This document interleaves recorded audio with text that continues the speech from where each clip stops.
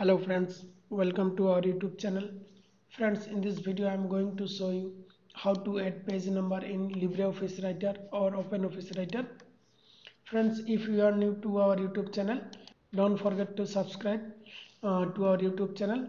To subscribe our youtube channel just click on the subscribe button then click um, bell icon to get the latest notification directly to your inbox. So let's start so friends uh, page number can be added in the header section. This is the header section. The blank space above your text. This is the header. And this is the footer section. This is the footer section. Blank this is the blank space.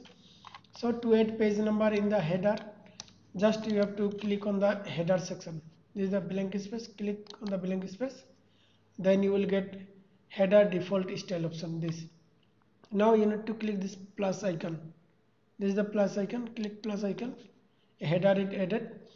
Now you need to switch to the insert button in the menu bar. This is the menu bar. Now you need to click insert button. After that uh, scroll down to fields. This is the fields. And click page number. You can also directly click at the page number. Field see page number appears here.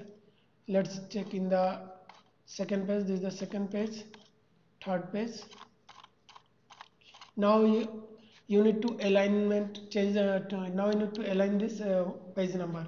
To align the page number just select the page number and then click this alignment center.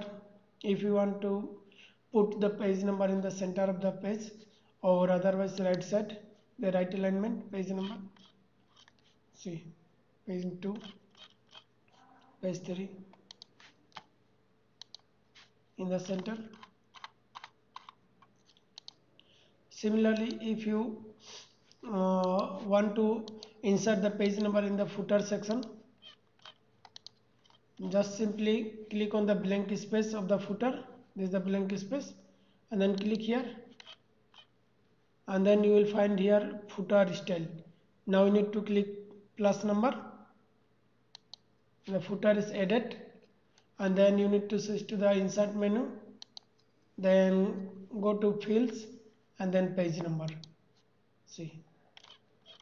See page number appears in the footer section. Now to change the alignment click on the alignment option center or that's it. So friends in this way you can add page number in your LibreOffice Writer document or OpenOffice Writer document. So friends, thanks for watching this video. Thank you. Thank you very much.